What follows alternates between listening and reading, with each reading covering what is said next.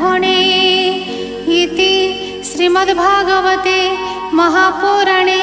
परमहंस्यं संहितायां द्वितीयस्कन्धे पञ्चमोऽध्यायः